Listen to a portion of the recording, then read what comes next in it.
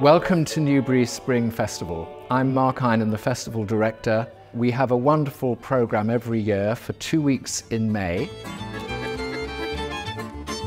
Everything from international orchestras to world-class musicians in jazz, in world music, in cabaret, in chamber music. Every year, a completely different program.